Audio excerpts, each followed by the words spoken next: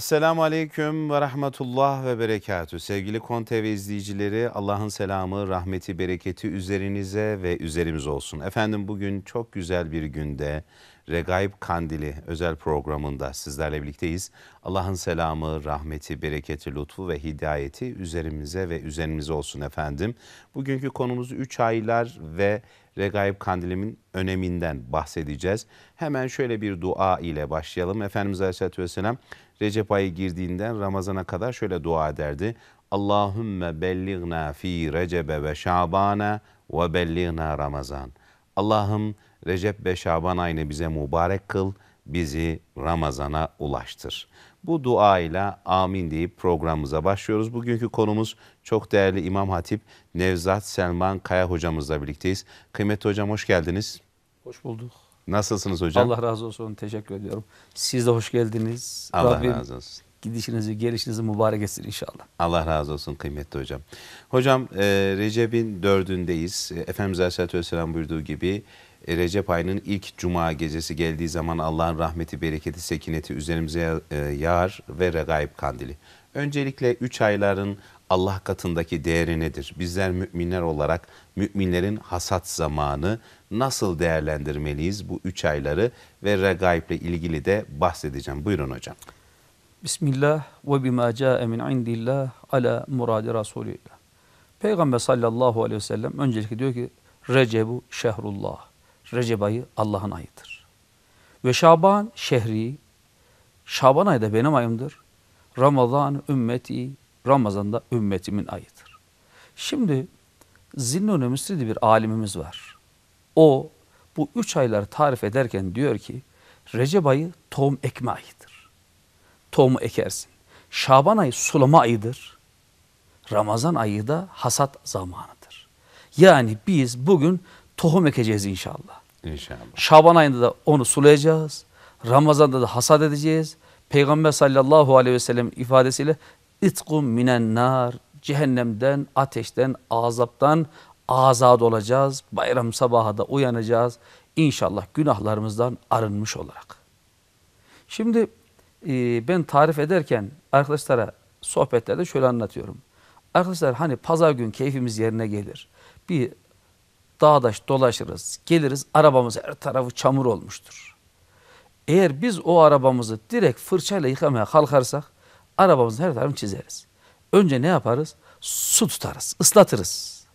Üzerindeki çamurlar, taşlar, çakıllar dökülür. İşte bu Recep ayıdır. İkinci, Şaban ayı fırçamızı alırız, sabunlarız. Onunla fırçalarız arabamızı. Şaban ayıdır. En son su tutarız, Ramazan ayıdır. Günahlardan tertemiz olduğumuz bir ay. Ve bu üç ayları daha da bir güzelleştiren içinde üç aylar içinde dört tane mübarek gece var. İşte ilkini inşallah bu gece idrak ediyoruz. Regaib gecesi. Şimdi birileri çıkıp ya regaib diye bir şey yok. E doğru. Regaib diye bir şey yok. Regaib ismini alimlerimiz koymuş.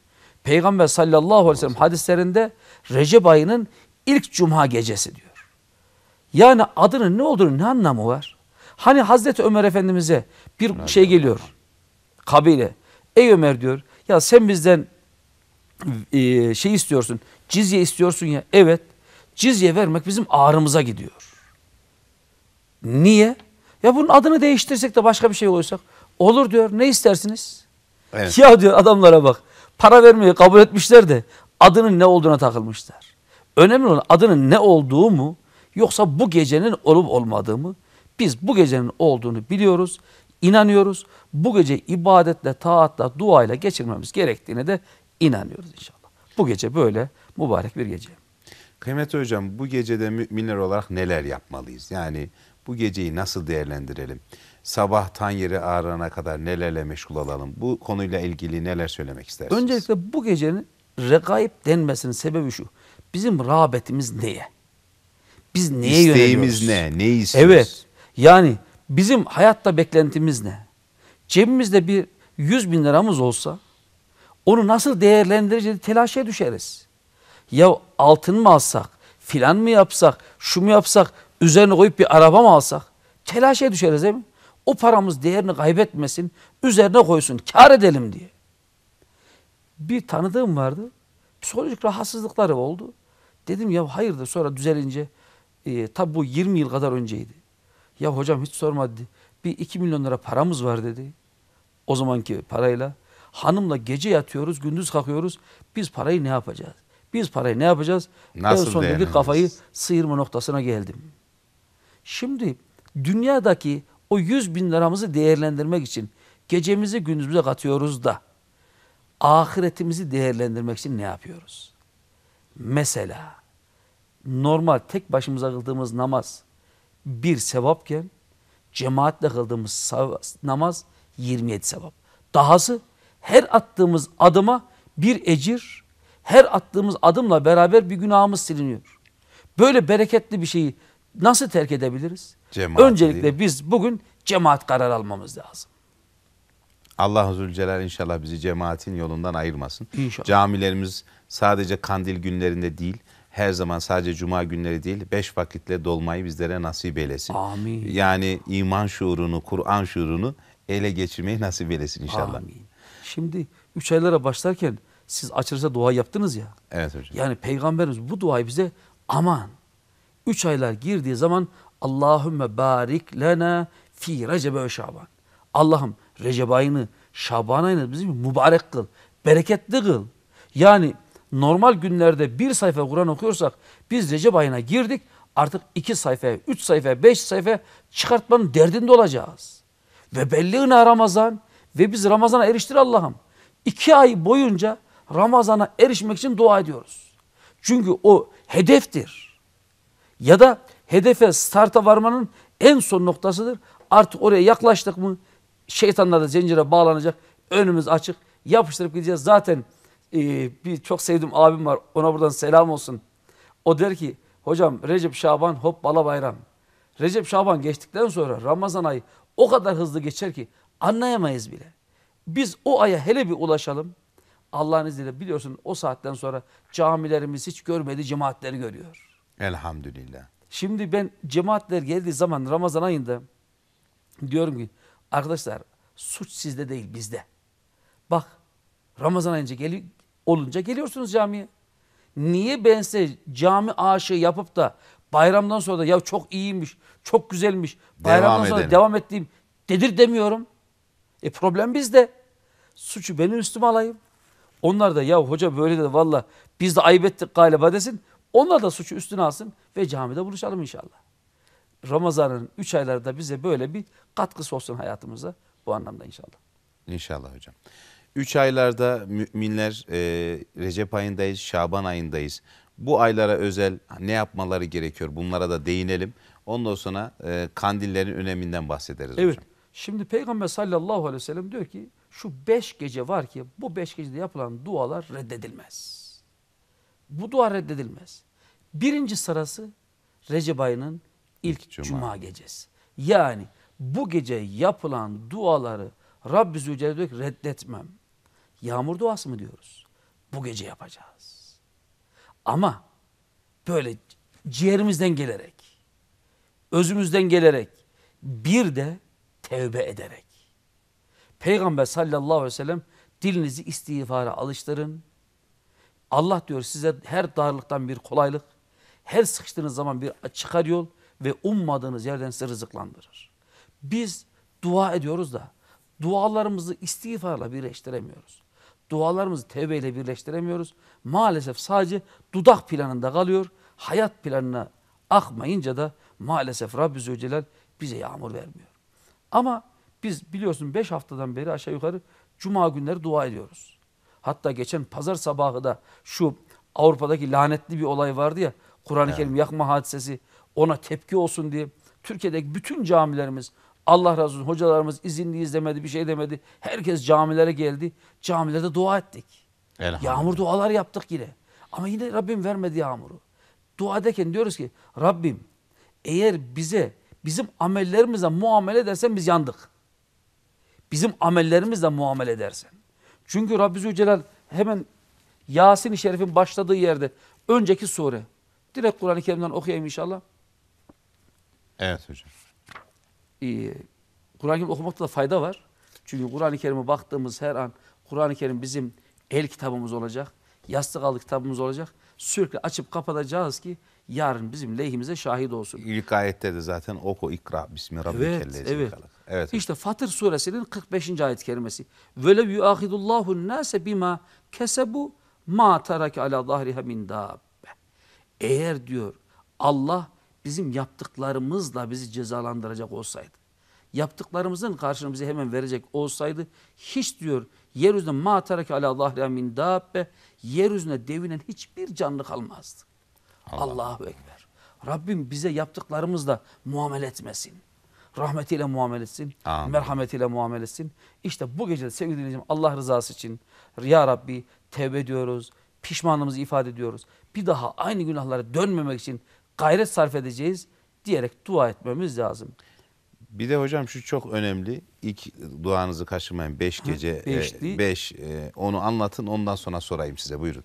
Bölmüş İkin, olmayalım. ikinci gecede hemen yakınlarda yine gelecek olan Şaban ayının 15. gecesi.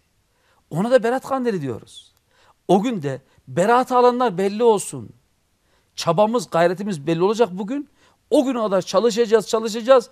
Biz beraatımızı aldık mı acaba? Mahkemeye çıkıyorsun. e, hakim beraat kararı vermiş deyince o yaşasın kurtuldum diyoruz. İşte Şaban ayının 15'i de kurtuldum gecesi. Ondan sonra da pek oruç tutmayı alimlerimiz tavsiye etmez. Biliyor musun? Peygamberimizin en fazla oruç tuttuğu ay Recep ayı. Evet. En fazla oruç tuttuğu ay. Ama onu da başta tutsak, tutsak olur mu? Yok. O da olmuyor. Şimdi biz kafamıza göre ibadet modeli de geliştiremiyoruz. Resulullah nasıl demiş öyle. Recep ayında çok oruç tutardı ama hepsini full oruç tutmuş mu? Hiç tutmamış. Bir de hocam şöyle halkımız şöyle bir yanlış yapıyor.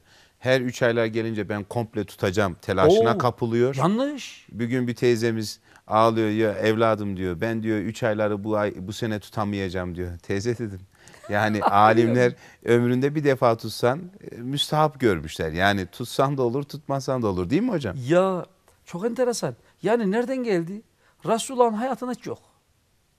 Resulullah'ın hayatında üç aylar boyunca oruç tuttuğu hiç vaki değil. Tutmamış. Ha alimlerimizin bir kısmı tutmuş. Tutmuş. Hatta bir alim vardı ismi hatırlamıyorum.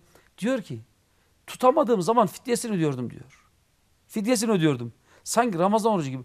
Öyle kanıksamış. Ama e, sevdiğimiz, güvendiğimiz bir hocamız diyordu ki orucu alışkanlık hale getirmemek lazım.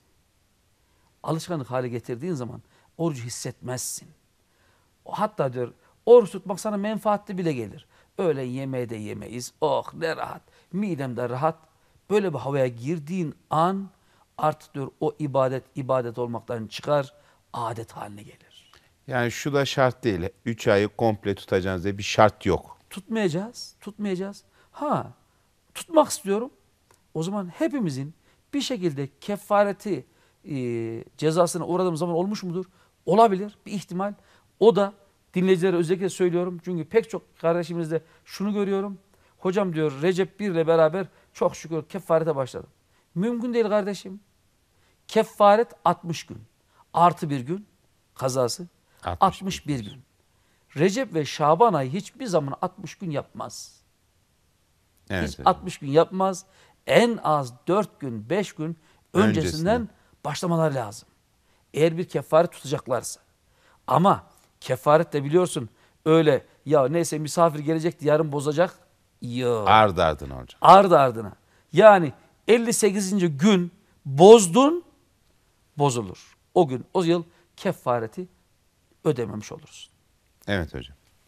Ee, ikinci gece Şaban ayının 15. gecesi. Yani beraatımızı aldığımız geceydi.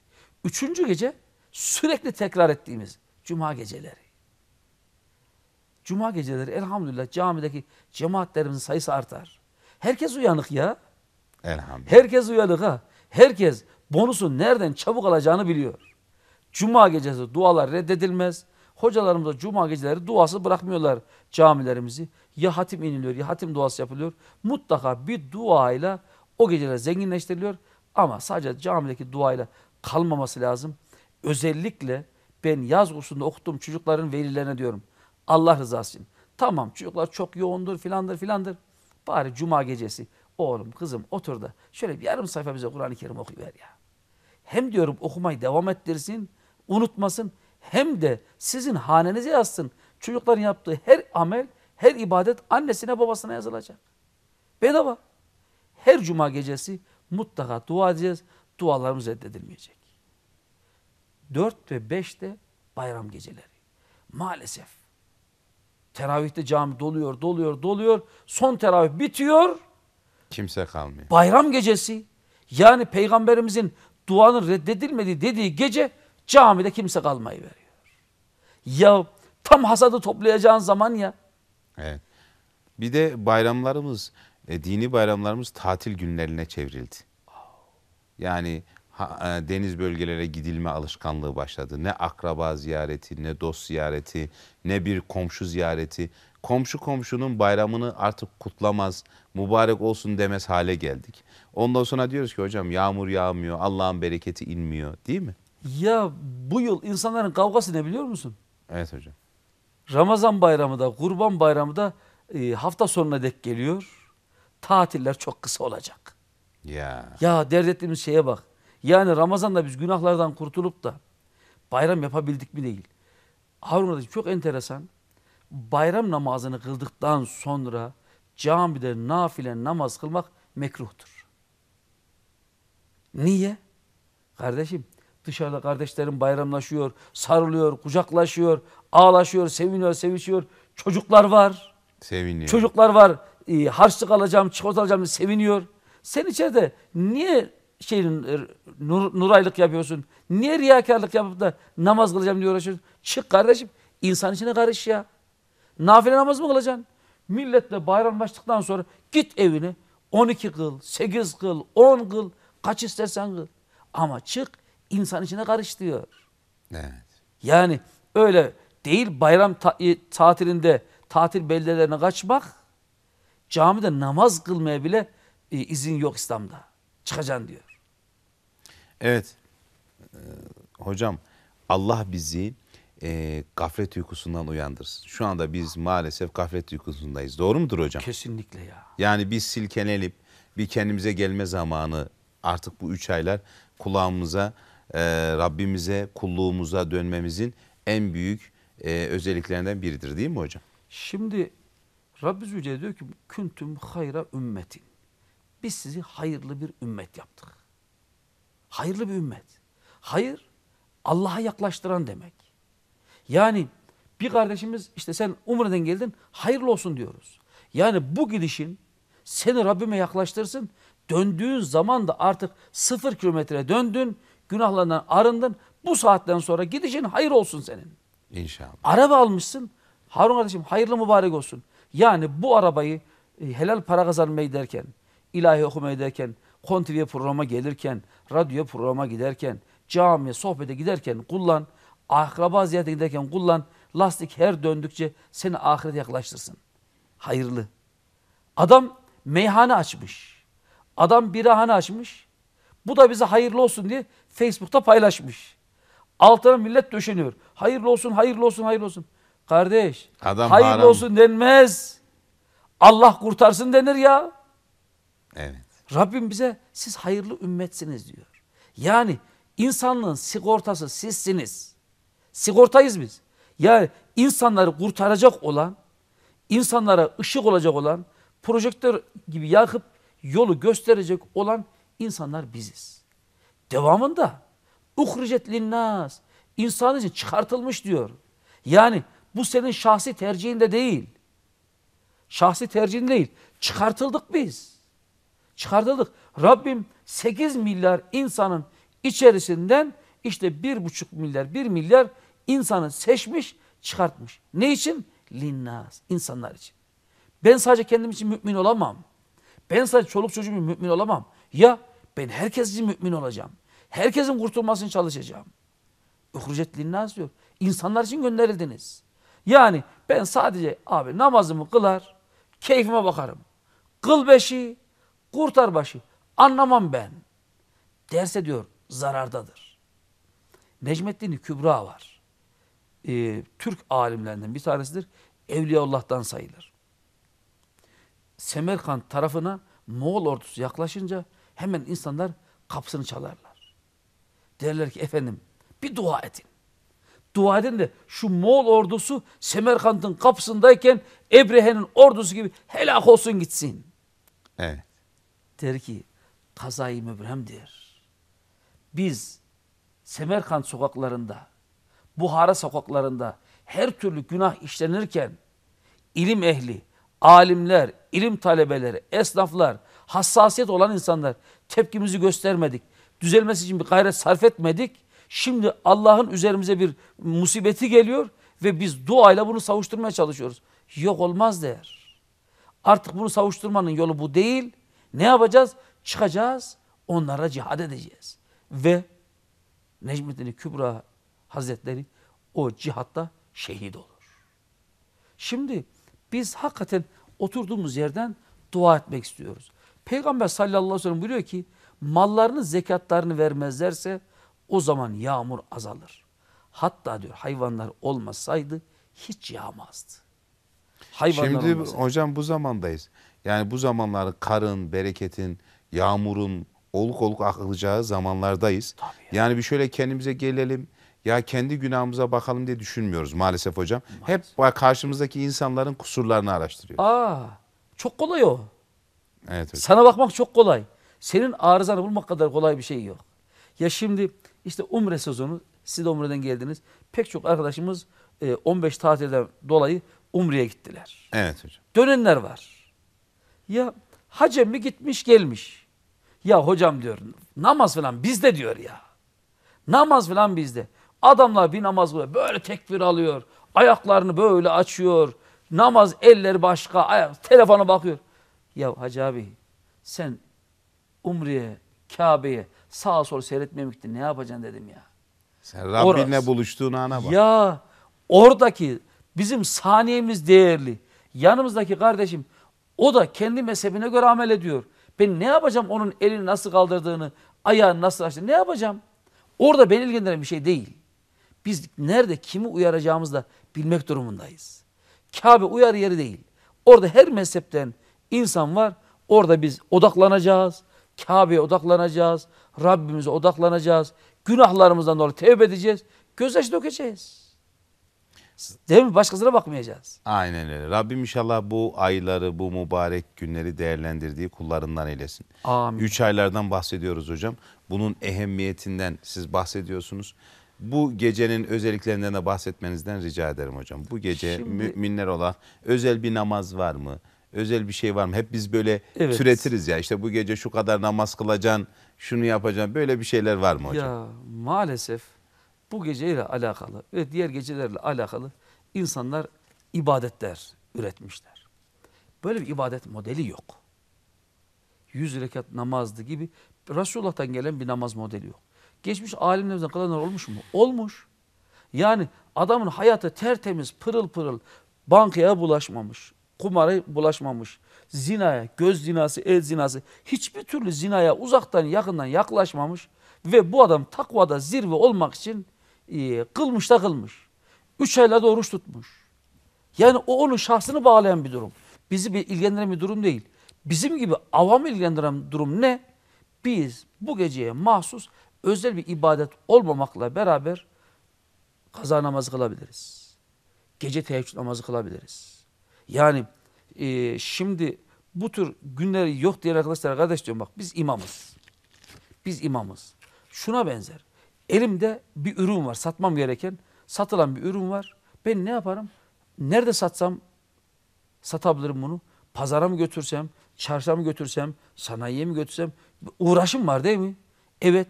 Ya bizim de bir elimizde sermayemiz var, yazılarımız var, okuduklarımız var, bilgilerimiz var.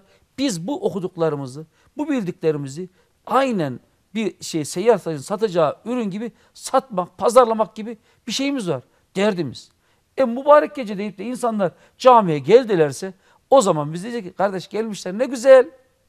Ya kandil yok deyip de onları geri göndermekten daha ziyade bu gelmiş olan insanları en güzel şekilde nasıl kanalize edebiliriz? Hocam buraya gelirken baktık herkes takkelerini giymiş. Camilerden çocuklarıyla beraber geliyor. Ne kadar güzel bir Tabii şeref. ya. Yani adam belki o gün namaz kılmıyorsa bile o şekilde camiye geldi. Belki bundan sonra namaz kılacak. Ya duası kabul edecek belki de. Yani böyle işte kandil yoktur, şu yoktur böyle diyen insanlar sadece Müslümanlarla uğraşıyor. Kardeşim sen git bir kafirle uğraş. Onu mümin olmasına vesile ol. Hiç gördünüz mü hocam böyle söyleyenlerin Yok, yok. e, kafirlere kızdığını, onlara onlarla mücadele ettiğini gördünüz mü? Onların dertleri biziz. Müslümanlar. Onların dertleri biziz maalesef. Bu gece yapacağımız dua edeceğiz. Peygamber sallallahu aleyhi ve sellem Hazreti Aleyhisselam. Ayşe annemize biliyorsun Kadir gecesi bir dua öğretiyor.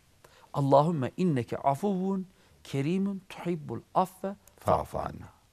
Allah'ım sen affedicisin, affa seversin, bizim günahlarımızı affet. Kadir gecesi. Yani muadili olmayan bir gece. Bin aydan hayırlı bir gece. Onun hiçbir muadili yok. Hiçbir benzeri yok. Ne Şaban 15'i, ne Recep ayının ilk perşembesi, ne Resulullah miraca çıktı. Hiçbir gece bu gece denk değil. Bununla beraber denk değil. E o gece o kadar mübarek bir gecede böyle bir duayı peygamberimiz tavsiye ettiyse bu duayı ben bu gece yapsam ne olur? Makbul olur. Tabii ya. Müstahap olur yani. Tabii ya. Sevabını Rabbimden dileriz. Tabii ki canım. Yani bugün ben bu duayı çokça yapmam lazım. Allah'ım affedicisin. Ama onu söylerken de kalbimde yarın sabah dün kaldığım yerden devam etmemek kaydı şartıyla. Allah'ım beni buradan kurtar. Şimdi eee neredeydi kitabın ismini şimdi hatırlayamadım. Bir hikaye anlatılır. Bir de sarhoş içmiş, içmiş, içmiş. Sarhoş narası var ya. O nara atarken secdeye kapanmış. Affet beni Allah'ım, affet beni Allah'ım. Kendini kaptırmış. Bir ses o pis alnını temiz mekan, secde mekanından kaldır diye bir ses duyar. Kaldırır bakar kimse yok. Allah Allah. Ya kovulduk derler. Kabul edilmedik. Öbürsü gün ayılır ama o sarhoşken yaşadıkları ona iğne gibi batmıştır. Der ki ya bak tövbe ediyorum kabul edilmiyor. Sesler geliyor. O pis alnını secdeden kaldır diye. Bir daha ben içmeyeceğim. Ya içmeyeceğim ama tevbe etmen lazım. Doğru der ya tevbe etmem lazım. Nasıl yapayım? Secdeye var. Allah'ım beni affet de.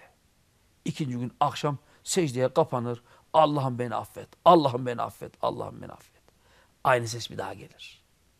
O pis alnını kaldır temiz mekandan. Yine bakar. Allah Allah. Yine kimse yok Bir ama şey yok. yine kovulduk. Üçüncü gün ya başka yolu yok mu bu tevbenin? Vallahi dedi kardeş tevbenin yolu secdedir. Allah'a tevbe edeceksin. Ona sığınmaktır. Yine secdeye varıyor. Yine aynı ses. Kaldırıyor kafasını. Vallahi her kimseni tanımıyorum, bilmiyorum, görmüyorum seni ama ben de gerizekalı bir adam değilim. Akşama kadar soruyorum. Tevbe etmek için ne yapmam lazım diyorum. Herkes secde, secde, secde diyor. Başka gidecek kapı bulamadığım için geldim. Başka kapı bulsam oraya gidecektim. Başka kapı yokmuş. Ben bu kapıya geldim. Benim tevbemi kabul et. Ha şimdi oldu. Bizim de başka gidecek kapımız yok. Yağmuru, karı isteyecek başka kapımız yok. O var. Ondan isteyeceğiz. Yüzümüz kara olsa da isteyeceğiz. Günahkar olsa da isteyeceğiz. Ama isterken de Ya Rabbi tevbe ediyoruz. Yarın bizi temiz bir insan kıl diyeceğiz inşallah. Müslüman korku ile ümit arasında olmalı değil mi hocam? Tabii ya. Havf ve reca. Hazreti Ömer diyor ki bütün insanlar cennete gidecek. Bir kimse cehenneme gidecek deseler ben diyor o bir kimse benim der kahrolurum diyor. Korkuya bak. Ya bütün insanlar diyecek Hazreti Ömer. Yani firavunlar şunlar bunlar var. Yok. Ya onlar gider bana sıra mı gelecek Allah'ını seversen. Git gitsin onlar. Şimdi deseler ki bir haber gelse 3 milyar insan cehenneme gidecek 5 milyar da cennete gidecekmiş. Biz yüzde 1 milyon 5 milyonu gruptayız. Tabi abi bizden başka cehenneme gidecek adam mı kalmadı Allah'ını seversen. Tabii ki cennete biz gideceğiz. Ama Hazreti Ömer Efendimiz öyle demiyor. O bir kişi benim derim korkusunu çekerim diyor. Yine diyor bir haber gelse bütün insanlar cehenneme gidecek bir kişi kurtulacak deseler o bir kişi benim der sevinirim diyor. Yani bu kadar bir e, havf ve reca bunu Rabbi Zülcelal hepimize nasip etsin inşallah ya. Amin, amin, amin hocam. Bu geceyle alakalı dua edeceğiz. Ama bir de biz Rabbimize rağbetimizi göstereceğiz. Rabbimize rağbetimizi nasıl göstereceğiz? Rabbimize rağbetimizi göstermenin yolu. Bir, öncelikle Rabbimize ve Rabbimize imanın hikmetlerine rağbetimizi göstereceğiz. Değilse kaybederiz. Değilse kaybederiz. Rağbetimizi nasıl göstereceğiz? La ilahe illallah Muhammedur Resulullah diyoruz.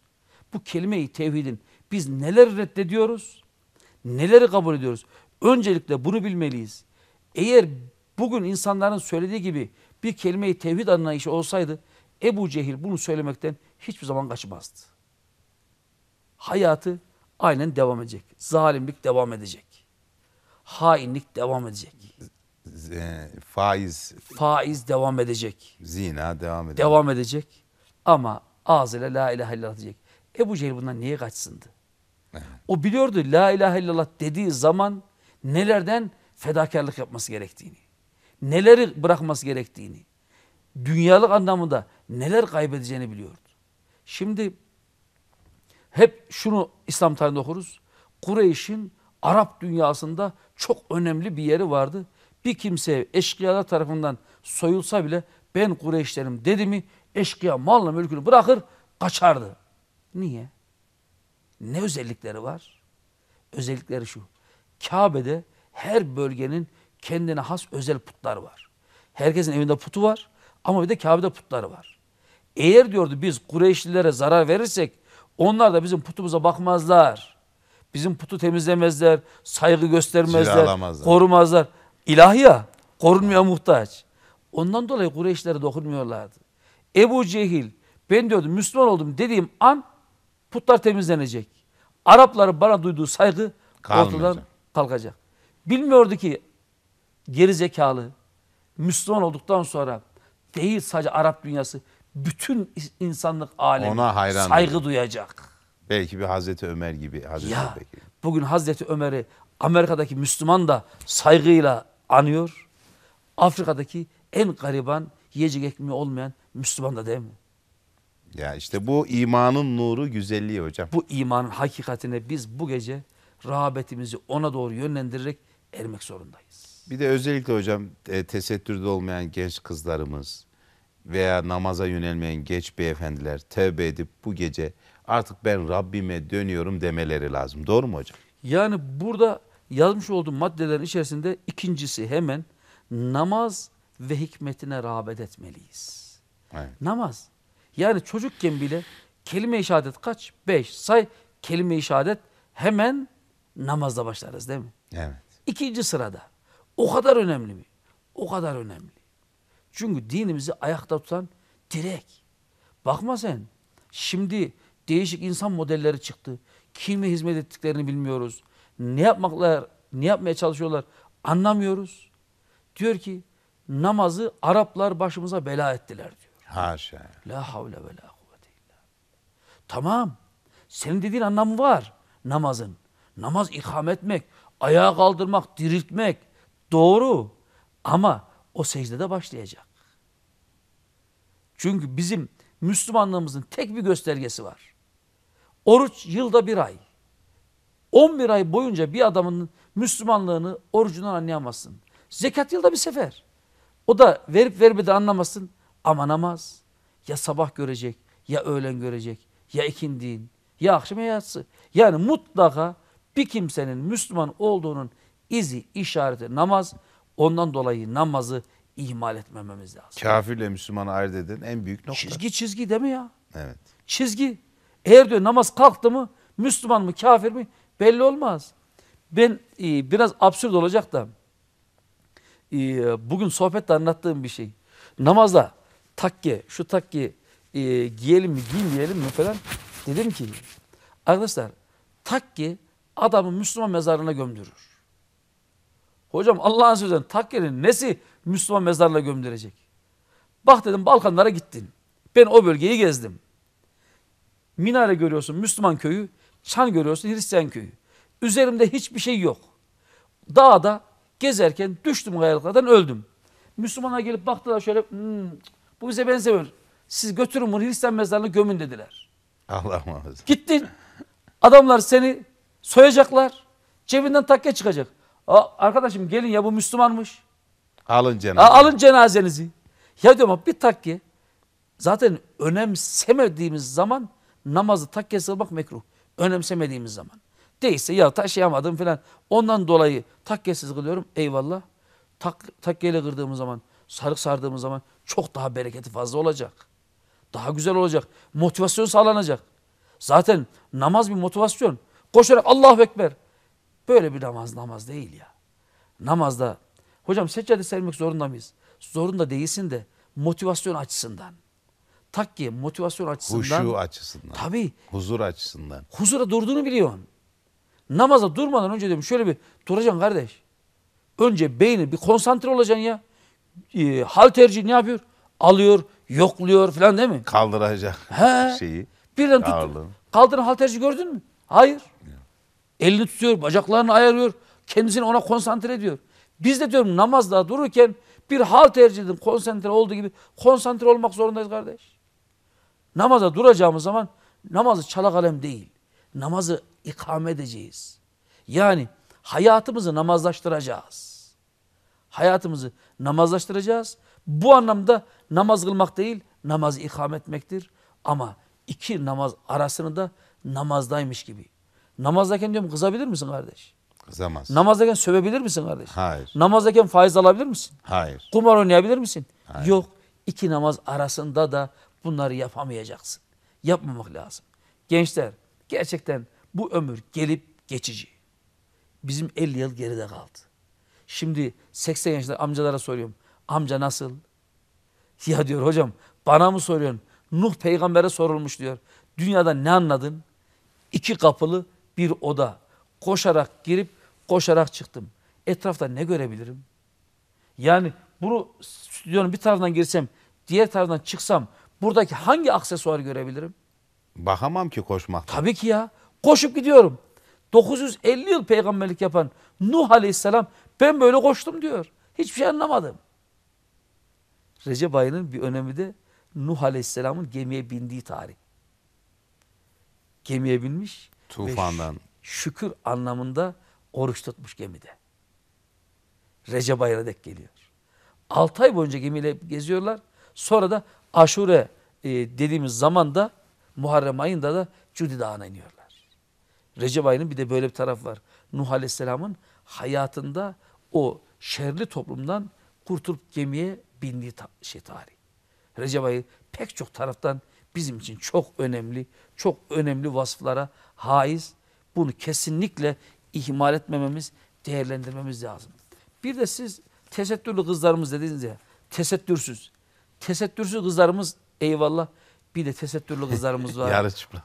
Onlarda ya tesettür setretmek.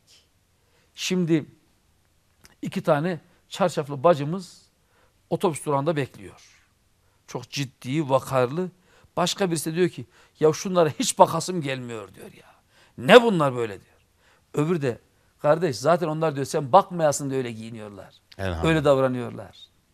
Eğer biz kızlarımız insanlar bize bakmasın diye değil, baksın diye tesettüre girdiyse o tesettürde problem var. Aynen hocam. Değil mi? Aynen.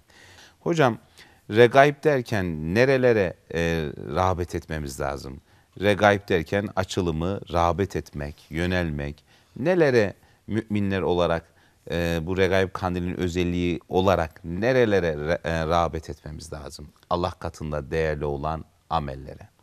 Öncelikle ilk başta söylemiş olduğumuz gibi imanın ve Rabbimize olan rağbetimiz. İki, namaza olan rağbetimiz olacak. Namaz olan yönlenmişimiz. Üçüncü olarak da hane ve nikahımıza rağbet. Biz maalesef hanelerimizi ihmal ettik. Değil mi hocam? Dışarıya gösteriş yapacağız derken maalesef hanelerimizi ihmal ettik. Bak Rabbi Zülcelal Kur'an-ı Kerim'de buyuruyor ki ve kulna ya Adem üskün ente ve zevcük. Ey Adem sen ve zevcen iskan edin. Nerede? Cennette. Rabbi Zülcelal bize cennette iskan edin diyor. Sonra indik dünyaya. Dünyada da siz sükun bulasınız diye yanına Havva'yı eşini yarattık diyor. Yani dünyadaki evimiz bizim esasında cennet bahçemiz. Dünyanın en lüks oteline götürebilirler bizi. En lüks oteline. Bir hafta, 10 gün, 15 gün sonunda yine eve geleceğiz. Ama bir kimsenin evi eğer gerçekten mutluluk yuvasıysa Rabbimizin ifade ettiği gibi üskunu mesken zaten oradan geliyor. Eğer ifade ediyorsa e, çok hoş bir şiir vardı. O şiirde diyor ki hanımın iyi ise ne işin var düğün evinde? Düğün senin evinde. Gir Gir, oyna. oyna, çık oyna. Hanımın kötüyse ne işin var cenaze evinde? Cenaze senin evinde. Gir ağla, çık ağla. Evet. Yani evlere rağbetimizi artırmak zorundayız. Bir de hocam sözünüzü kesiyorum. Tö- tövbe etmemiz gerekiyor dediniz bu gecede bol bol af dilememiz gerekiyor. Bir izleyicimiz selamünaleyküm hocam. İyi programlar Harun Bey. Firavun'un son anda tevbesi pişmanlığı kabul olmuştur. Ee, Selman hocama sorar mısınız Olmuş cevabınızı? mudur? Evet kabul olmuş, Olmuş mudur? mudur? Ee, yani bazı şöyle bir e, dipnotta yazmış ben ondan öyle sorayım dedim. Bu konu hakkında alimler arasında görüş ayrılıkları vardır diyor. E, zaten Allah Firavun'a e, Kur'an'da kafir diye bahsediyor da. Oo. E, hocam e, şöyle bir şey var. Bütün izleyicilerimize de buradan çok teşekkür ediyorum. Bayağı kandil mesajlarınız var. E, selamlarınızı aldık hocam size de çok selamları var. Aleyküm Kandiliniz selam. mübarek olsun diyor çoğu izleyicimiz. Anladım. Ayrıca da teşekkür ediyoruz. Bu sorunun cevabını alalım hocam. Rağbetle ilgili devam edeceğiz. Öncelikle hiçbir şekilde alimler arasında Firavun'un imanı kabul edildi mi edilmedi mi diye bir şey yok. Ben de Çünkü görmedim de bu arkadaşımız Ayetle sormuş. sabit arkadaşımız inşallah dinliyordur. Kardeşim Yunus suresinin 91. ayet kerimesi. 90. ayet kerimesinde Firavun'un kale amentu inandım diyor. İnandım. Kime inandım? Ennehu la ilahe illellezi amenet bihi benu İsrail. İsrailoğullarının inandığı Allah'tan başka ilah yok. İman ediyor. İsrailoğullarının yani Musa Aleyhisselam'ın inandığı Rabbe iman ediyor. Ama Rabbi Zülcelal ve ene minel müslimin ben Müslümanlardan oldum diyor. Firavun'un son sözü ben Müslümanlardan oldum. Kardeşimizin dediği buraya kadar mükemmel doğru. Ben Müslüman oldum diye ifadesi var. Ama Rabbi Zülcelal'in cevabı al ane. Şimdi ha. Şimdi ha. Şimdi mi aklıma? Fakat geldi? asayte sen isyan etmiştin ya. Ben sen- Allah'ım demiştin. Evet. Kable ve kunte minel müfsidin. Sen daha önce isyan ettin, ifsad ettin, ortalığı karıştırdın. Şimdi iman ettin ha? Yani- Öleceğini anladığı için. Tabii ki son nefeste yapılan tevbe iman kabul değil. Şöyle bir iman kabul. Yani bir kimse her türlü pisliği işlemiş. Her türlü günah içinde yuvarlanmış yuvarlanmış ve aklı başına gelmiş. Ya ben işte bu regaib kandili diyelim. Bu regaib gecesi bir vesile oldu. Adam camiye gitti hasbel kader. Tevbe etti. Tövbe etti, pişman oldu. Dedi ki ya ben bundan sonra Allah'ın izniyle bak sen namaz, niyaz, tesbih, zikir, kötülük bundan sonra benim semtime uğramayacak dedi. Camiden çıkarken elhamdülillah kar yağdı. Öyle hayal edelim. Kar yağdı, ayağa kaydı, düştü kafasını vurdu ve öldü. Bak Öleceğini biliyor muydu? ha işte o tevbe kabul. Çünkü öleceğini bilmiyordu. Deniz yarılmış, ordusuyla beraber girmiş, kapanmaya Bitmiş. başlıyor deniz. Öleceğini anladı. Tevbe et, Rabbine yönel. Yok. Tevbe şey ister, devamını ister. Tevbe ettikten sonra bir devamı gerek. Bunda bir devamı yok. Bu az sonrasını biliyor. Bitmiş. Fişi çekilmiş. Ondan sonra iman ettim diyor. Al ane şimdi ha. Yani, öleceğini anladığı zaman tövbe ve iman etmesi ona fayda verdi. Fayda etmez. Bu ayet-i kerime apaçık Evet. Yani anlatıyor. ayet çok açık, net, berrak. Ondan dolayı kesinlikle böyle bir iman kabul edilen bir iman değil. Hocam re- regabe kelimesinden üretiyor üretilen e, re, e, regaib kandili nelere rağbet edeceğimiz noktasında bir de şunu soracağım hocam. Biz şükrü bıraktık hocam ya. Oo. Yani toplum olarak şükretmeyi bıraktık. İsyan yolunu tuttuk. Yani bununla ilgili kendimize gelmemiz gereken Aslında şöyle bir kıssa var. Eğer e, uygun görürseniz Ben hemen hikaye anlatayım diyecektim. İnşallah aynı hikaye değildir. Hazreti Buyurun. Musa'nın mı? Değil. Buyurun Değil. siz Yok, anlatın. önce siz anlatın buyurun. Şimdi Hazreti Musa Aleyhisselam rivayetlere göre Tur Sina Dağı'na çıkacak. Allahu Zülcelal'le kelam edecek. Bir tane e, o zamanın kölesi diyor ki ya Musa bakın hocam burada çok ibretli bir şey var. Alemler Rabbine gidiyorsun söyle ben çok fakirim bana versin diyor yani. Benim ihtiyacım var diyor. Ben fakirlikten bunaldım diyor. Biraz ileri doğru giderken Tur Sina Dağı'na yaklaşırken bir zengin diyor ki ya Musa alemler Rabbine söyle ben çok zenginim onu zikretmekten geri kalacağım. Benden bu zenginliği alsın ne yapacağım ben zenginliği diyor. Hazreti Musa Turi Sina Dağı'na çıkıyor. Alem Rabbine diyor ki ya Rabbi sen kuluna şah damarından yakısın. iki hali, iki kulun halini biliyorsun. Git o fakire söyle diyor bana hiç şükretmiyor. Ben şükredene ziyadesiyle veririm. Git o zengine de söyle bana çok şükrediyor. Ben şükredene fazlasıyla veririm diyor. Geliyor ilk başta o fakir diyor ki ne yaptın ya Musa diyor. Bak günümüzün insanı gibi hocam. Ne dedi alemler Rabbi? Bana şükretsin. Bana ne vermiş ki şükredeceğim ben ona? Ne verdi ki neyim var ki zaten köleyim. Bana ne vermiş ki ben ona şükredeceğim haşa. Bir kasırga vuruyor helak olanlardan oluyor. Ondan sonra zengine gidiyor. Zengin de keçiyi otlatmış, sütünü sağmış. Sağarken Hazreti Musa Aleyhisselam geliyor. Diyor ki ey Allah'ın peygamberi ne oldu? Ya Allah dedi ki çok şükrediyor bana. Şükrettiği için ben onu e, daha fazlasıyla ziyadesiyle veririm. Diyor ki ya Musa sen gidip gelene kadar ben keçimi otlattım. Yemyeşil otlar yedi. Şimdi sütünü sağıyorum. Ve şükretmeden duramam. Kudret ve azamet sahibi Allah'a hamdolsun diyor. Elindeki ıbrık altına dönüşüyor. Şimdi burada büyük bir ibret var hocam bizim için. Anlatacağım hikayede bunun bir devamı niteliğinde olsun. Buyurun hocam. Yine e, Rabbi Zülcelal bir peygambere vahyediyor. Diyor ki filan yerde bir aile var. Fakir bir aile. Ben onların hayatlarının bir yarısını zengin, bir yarısını fakir olarak takdir ettim. Ama hangi dönemin önce olmasını istiyorlarsa bildirsinler. Yani önce fakirlik mi, önce zenginlik mi? Peygamber varıyor. Diyor ki ya Rabbim sizin ömrünüzü ikiye böldü. Bir kısmını zengin, bir kısmını fakir geçireceksiniz. Evet. Ama önce fakirlik mi, zenginlik mi? Adam diyor ki hanıma ben bir sorayım. Ya hatun, peygamber geldi böyle böyle dedi. Ömrümüz iki parçaya bölünmüş. Bir kısmı zenginlik, bir kısmı fakirlik. Ben diyorum ki zenginliği, şey fakirliği isteyelim. Fakirliği isteyelim. İyice alışırız, alışırız. Sonra zenginlik geldi mi ahir ömrümüzde re- refah içinde yaşar gideriz. Evet. Ya bey diyor, önce biz zenginliği isteyelim. Niye? Biz diyor sonra zenginliği bırakırsak insan yaşlandıkça iki duygu gençleşirmiş. Mal duygusu, yaşamaz duygusu. Bu ikisi çok taze olurmuş. Belki yaşlanınca paramız biter diye kimseye sadaka veremeyebiliriz. Gel gençken isteyelim biz zenginliği. Bir de Dağıtalım. ağzımız tadı yerindeyken yiyelim içelim. Tamam der ya. Ey peygamber Rabbime söyle biz önce zenginlik istiyoruz. Zenginlik verilir. Birden Rabbi Zülcelal yerlerden altınlar fışkırdır. Zengin olurlar. Ama paylaşma ahlakı var. Der ki bey Rabbim bunu bize verdi ya. Ne yapacağız? Dağıtacağız. O evleneceğe vereceğiz. Yetime vereceğiz.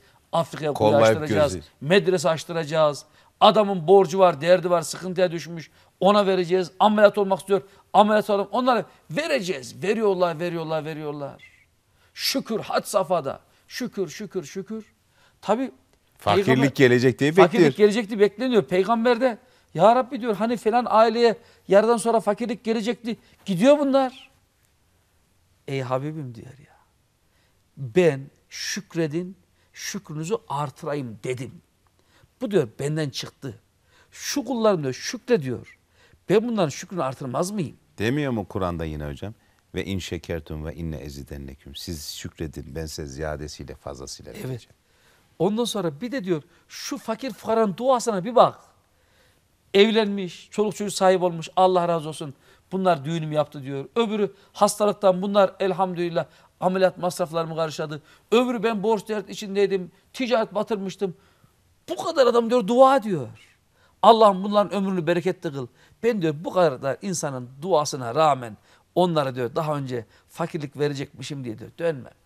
Devam etsinler böyle diyor. Evet. Şimdi Osman Nur Topbaş Hoca Efendi'ye gözleri görmeyen bir ama geliyor. Diyor ki hocam sabır mı zordur, şükür mü zordur? Osman Nur Topbaş Hoca Efendi diyor ki evlat sabır zordur. Hocam benim gözlerim görmüyor. Başıma gelmiş. Benim zaten alternatifim yok. Ben mecburen sabrediyorum. Ama diyor senin gözlerin görüyor. Sen gözlerim görüyor diye şükredebiliyor musun? Ya da işte dünyada 8 milyar insan var. Belki bundan 7,5 milyar insanın gözü çok net görüyor. Bu 7,5 milyar insan gözümüz görüyor diye şükredebiliyor mu? Yok. Şükretmiyoruz değil mi? Biz maalesef e, artık şikayetçi bir toplum olduk ya. Yağmur yağmıyor diye de şikayetimiz var. Halbuki şikayet değil, Rabbim verdiğine şükür diyeceğiz. Rabbim de artıracak. Evet. Biz sanki yanlış kanaldan gidiyoruz gibi. Bizim gittiğimiz kanal sanki biraz yanlış gibi e, Harun Hocam. Evet. Başka nelere rağbet etmemiz lazım? Başka nelere? Mesela Peygamber sallallahu aleyhi ve selleme rağbetimiz her zamankinden daha fazla olmak zorunda. Bize üç ayları öğreten, Regaib gecesini yani Recep ayının ilk gecesini öğreten, bize örnek olan, önder olan Peygamber sallallahu aleyhi ve selleme karşı rağbetimiz en üst seviyede olmak zorunda. En üst seviyede. Evet hocam. Çünkü Peygamber sallallahu aleyhi ve selleme karşı dünyada bir itibar suikastı başladı. Resulullah'ı böyle o gün e, görevi yerine getirmiş, postacı gibi gelmiş, Haşa. kitabı getirmiş, yaşamış, örnek olmuş, haydi ben gidiyorum demiş, gitmiş gibi. Halbuki Peygamberimiz ve men ahya sünneti fekad ahabbeni ve men ahabbeni kâne ma'i fil cennet. Kim diyor benim sünnetimi diriltirse beni sevmiş olur. Yani bugün biz Peygamber sallallahu aleyhi ve selleme rağbetimizi artıracağız, sevgimizi artıracağız, sünneti artıracağız. Yarın da kıyamet günü onun şefaatini istemek gibi bir şeyimiz olacak, yüzümüz olacak. Değilse biz bugün Peygamber sallallahu aleyhi ve sellemi göz ardı ettiysek yarın ondan nasıl isteyebiliriz? Öyle bir isteme şansımız var mı? Yok. Sahabe efendimiz ya acayip insanlar. Evet hocam. Acayip insanlar. Ne yapıyor? Misafirlerin yanında kölesi üzerine yeme- yemek döküyor değil mi? Evet. Tam kızmış kalkmış bir zarar verecek. Onlar diyor öfkelerini yenerler. Ayet okuyor köle. Eller yanına düşüyor. Yani biliyorsun köleye insan muamelesi yapmıyorlar. Dövebiliyor, sövebiliyor. Pek çok şeyi var. Ama onlar diyor öfkeleri yenerler deyince elleri hemen yana iniyor sahabe efendimizin. Ya acaba bugün biz çok kızdığımız zaman birisi bize o kızgınlığımızla alakalı bir ayet-i kerime, bir hadis-i şerif okusa bizim elimiz yana mı düşer? Yoksa şimdi Devam. ayetin sırası mı? Haşa. Mı deriz? Maalesef hocam öyle diyecek bir topluma ulaştık. Maalesef değil mi ya? Şimdi ayet hadisi karıştırma diyen bir toplum oldu değil mi? Sahabe efendimiz ya. Şimdi bak Ramazan yaklaşıyor. Teravih namazı var. Mutlaka çok konuşulacak. Her Ramazan yaklaşıldığı zaman imsak mevzusu, teravih mevzusu. Gündeme gelir. Oh temcit pilavı gibi. Isıt sür piyasaya uğraşalım. Ramazanın zevkini alamıyoruz. Ramazanın zevkini alamıyoruz. Şimdi vesvese diyoruz ya. Vesvesenin en büyük problemi ne? Şimdi bugün bir arkadaş dedi ki hocam birisi var dedi. Lavaboya WC'ye gidip geldiği zaman üstünü değiştirir dedi. Kardeş iş değil dedim ya. Niye iş değil? Tamam evinde otururken değiştirebilir bir hassasiyeti vardır. Hoştur. Ama o hassasiyeti hayatının her alanda devam ediyorsa iş yerinde, seyahatte, şurada, burada üzerini değiştirmediği zaman o elbisemle namaz olmaz deyip de namazı terk eden insanlar var. Maalesef hocam. Şeytan çünkü sağdan sağdan geliyor. O senin elbisen pis. Sen her zaman ne kadar temiz elbise giyerdin. Bu pis, kirli, necis elbiseyle namazın olmaz deyip adamı vesvese veriyor ve namaz olmuyor. Namaz kılamıyor. Rabbim muhafaza eylesin inşallah. Bizim başka nelere rağbetimiz olacak? Kur'an ve Kur'an ahlakına rağbetimiz olacak. Bir, Kur'an okuyacağız. Şimdi Kur'an-ı Kerim'i bilerek buraya getirdim.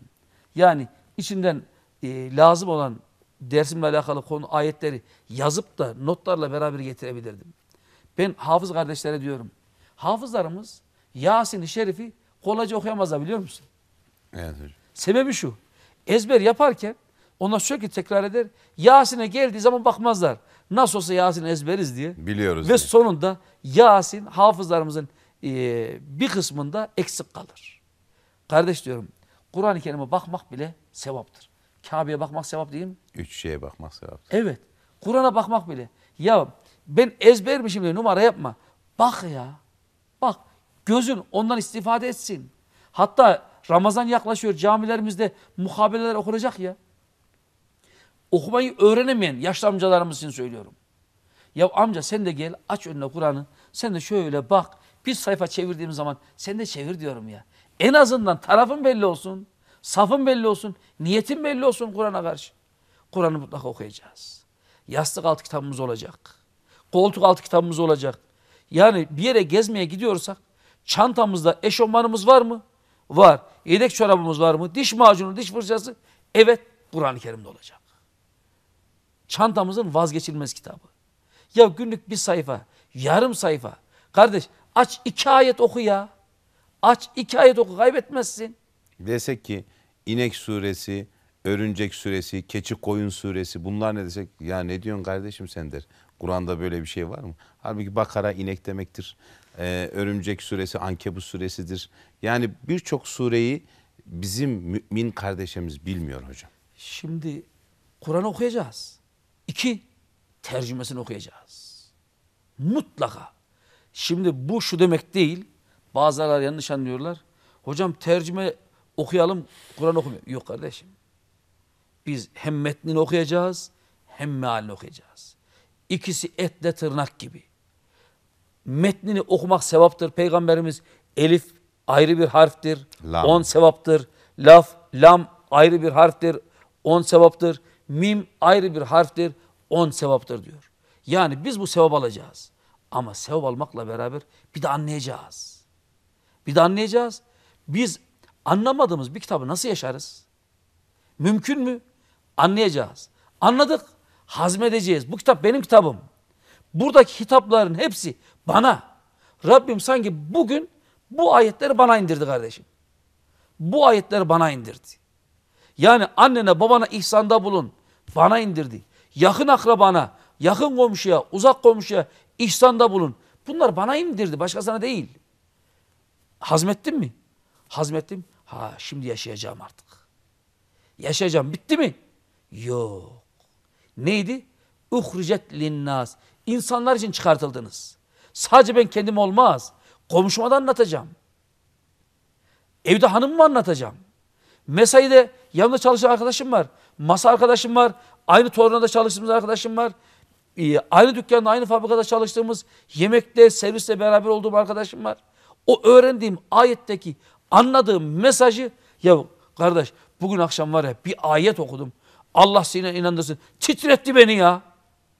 O da dikkat çekiyor. Ne, hangi ayetmiş ya? O öğrendiğim bir tane ayeti onunla paylaşacaksın. Oku, anla, hazmet, yaşa ve paylaş. Hocam bir tane sorumuz var bir kardeşimizin de. Hayırlı akşamlar hocamıza e, Harun Bey bir soru soruyorum. Hayırlı kandiller. Benim sorum kandile nazaran kaza namazları için hocamızın görüşleri nelerdir diyor. Yani kaza namazı kılarsan bu gecede. Birçok hoca yıl ve rekat üzerinden farzların hesaplanmasıyla vakit bulundukça kılınmalı diyor. Bir kısmı da geçmişte kılamayanların tevbe ederek güncel olanlardan devam etmesi şeklinde diyor. Nasıl bir uygulama yaparız? Teşekkür ederim diyor. Şimdi Kaza namazlarını soruyor Tamam. hocam. Ee, öncelikle kaza namazı geçmiş namazlarımız. Ee, Şafii mezhebinde Şafii mezhebinde sünnet yok deniyor ya. Esas sünnet yok demek değil. Sürekli kaza namazı kılacaksın. Hiç vakit kaybetmeyeceksin. Sünnette meşgul olmayacaksın. Kazaları kılacaksın demek. Onun için ama onlar da yanlış evrilmişler. Bugün yanlış bir uygulama devam edip gidiyor. Kaza namazlarını fırsat bulduğumuz ilk an kılacağız. Şimdi kardeşimizin dediği iki görüş. Eğer geçmişler geçmiş dersek biz geçmişte Müslümandık kardeş. Geçmişte Müslümandım.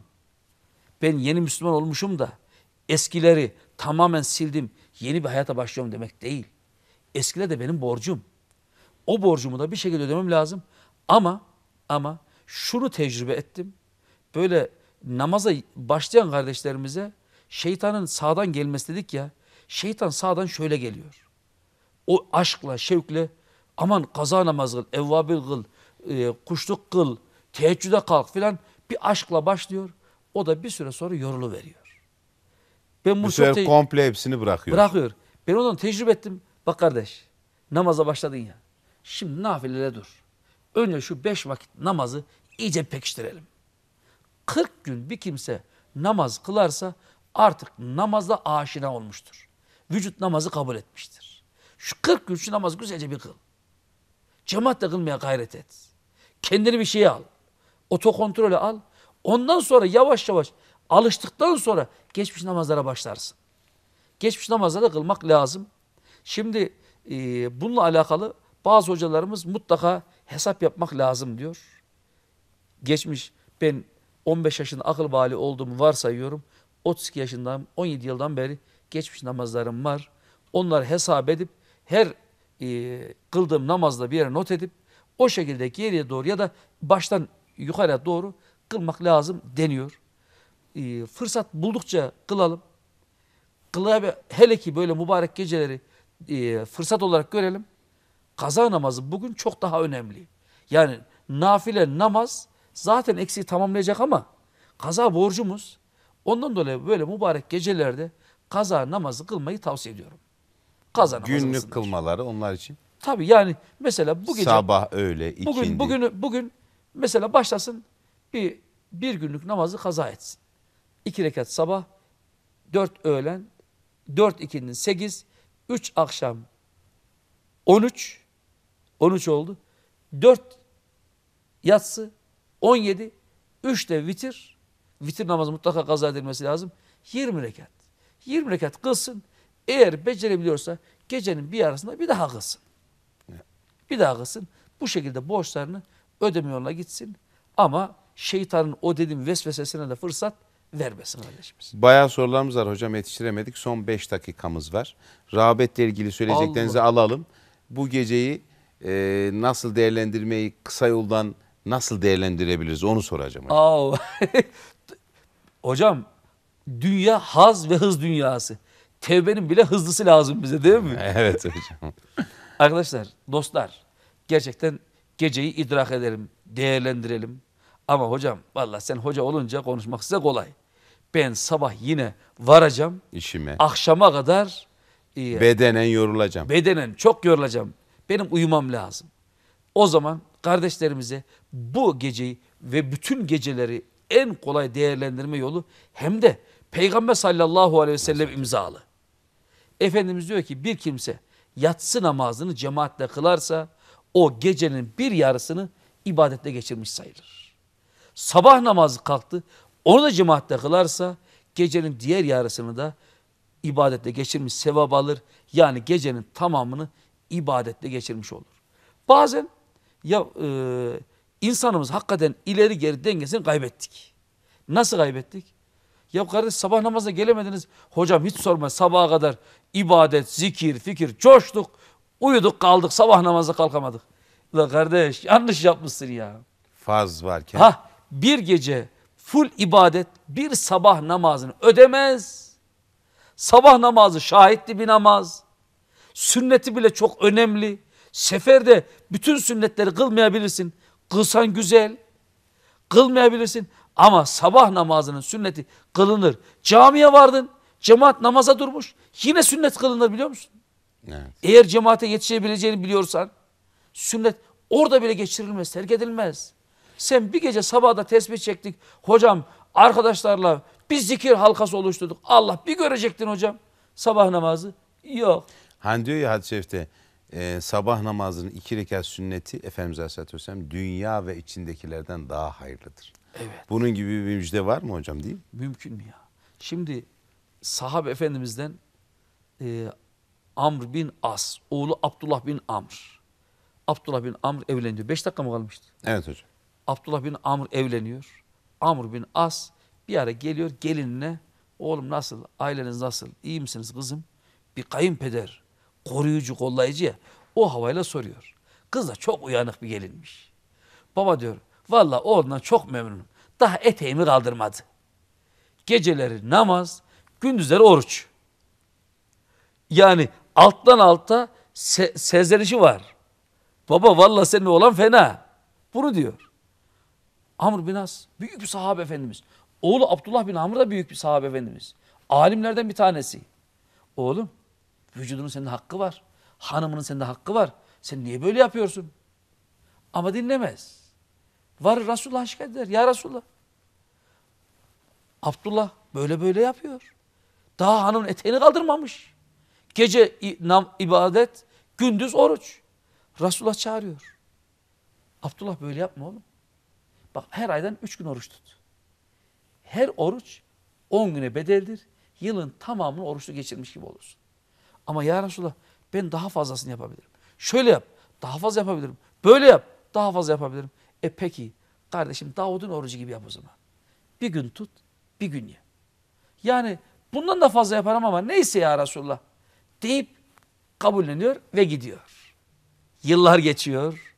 Davud Aleyhisselam orucu bir gün yiyip devam ediyor. Sonra artık takatten düşüyor. Keşke diyor Resulullah'ın o dediği üç günü kabul etseydim ben ya. Ya. Üç günü kabul etseydim o benim için diyor ev halkımdan dünyanın bütün nimetlerinden benim için daha önemliydi. Ama diyor kaçırdım. Bize ders. Edve muha ve in kalle diyor Peygamberimiz. Az ama devamlı. Az ama istikrarlı. Biz de inşallah bu geceyi ibadetle, taatla, duayla, şükürle geçirelim. Ümmeti Muhammed için özellikle dua edelim. Çünkü yağmur, kar tamam ama bizim neslimiz maalesef kaybolup gidiyor. Tesettürümüz kaybolup gidiyor. Ahlakımız kaybolup gidiyor. Rabbim bizleri muhafaza eylesin. Dua edelim inşallah birbirimize. Kıymetli hocam e, geldiniz bizi kırmadınız. Çok teşekkür ediyorum.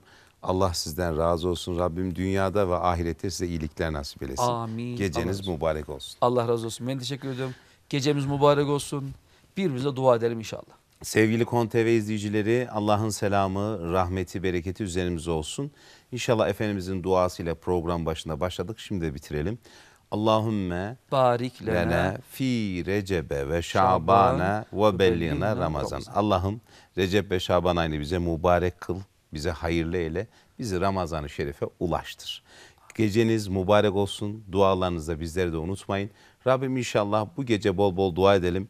Yağmuru, karını, bereketini hem indirsin hem de bize imanın güzelliğini, Kur'an'ın güzelliğini, ibadetin güzelliğini hem kendi çocuklarınız için dua edin hem de tüm Müslümanlar için Rabbim dualarınızı kabul eylesin.